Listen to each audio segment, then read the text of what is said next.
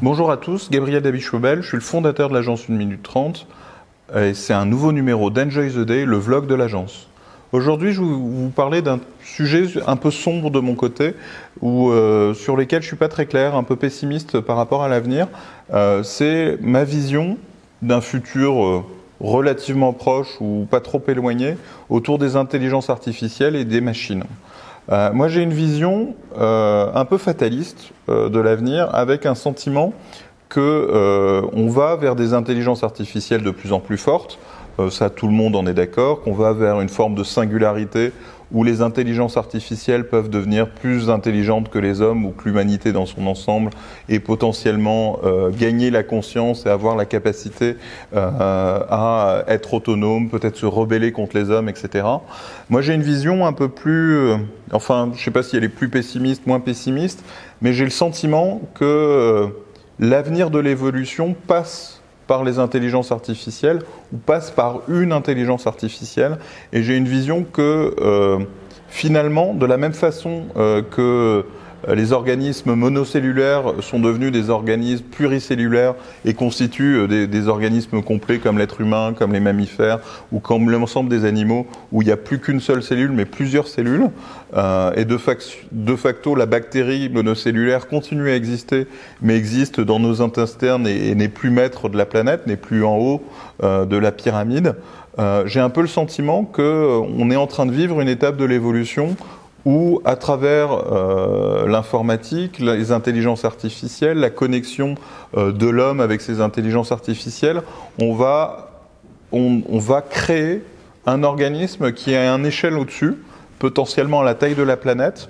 Euh, Lovelock parlait de Gaïa et d'une vision de la planète unifiée, et j'ai le sentiment qu'à travers ces nouvelles technologies, euh, tout, tout, est en train de se lier et qu'on va peut-être passer à une nouvelle phase de l'évolution où euh, l'entité euh, en, haut de la pyramide ne sera plus les êtres humains comme c'est le cas depuis un certain nombre de temps.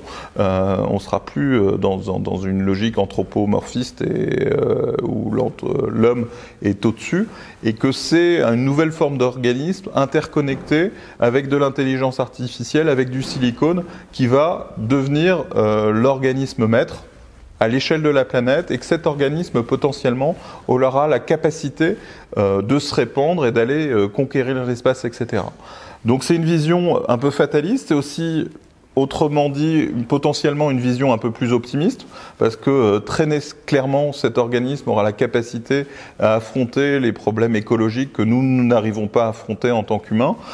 cet organisme aura la capacité à à se développer et à continuer l'évolution, mais ça va nous ranger dans un rang euh, où on peut se poser des questions sur notre existence et sur la survie de l'humanité, ou euh, sur le fait d'être avalé à la taille d'une bactérie euh, dans notre estomac ou dans l'estomac de cet organisme. Donc tout ça n'est pas nécessairement très réjouissant. Je sais que j'ai fait peur ou j'ai inquiété un certain nombre de mes amis. Euh, Aujourd'hui, c'est vous que j'inquiète, euh, mais c'est l'occasion d'échanger euh, sur un futur euh, pour lequel de plus en plus d'auteurs écrivent des choses passionnantes. Euh, je pense à Laurent Alexandre, je pense à Nicolas Bouzou, je pense à Yuval Harari. C'est des vraies questions qu'on doit se poser dans notre siècle. c'est des questions sur lesquelles les politiques ne parlent pas assez.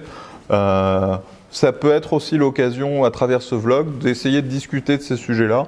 Euh, je ne considère pas être un expert, on parle du futur, donc euh, bien malin celui qui saura dire euh, ce qu'est la réalité du futur. J'ai pas de boule de cristal, mais une forme de vision fataliste qui dirait que l'évolution ne s'arrête pas à l'être humain et que elle continue, elle intègre du silicone, elle intègre de l'intelligence artificielle, et c'est pas nécessairement le, biologique et le dit naturel qui est euh, l'avenir euh, de l'évolution et de la nature en tant que telle, parce que malgré tout, euh, le silicone fait aussi partie de la nature.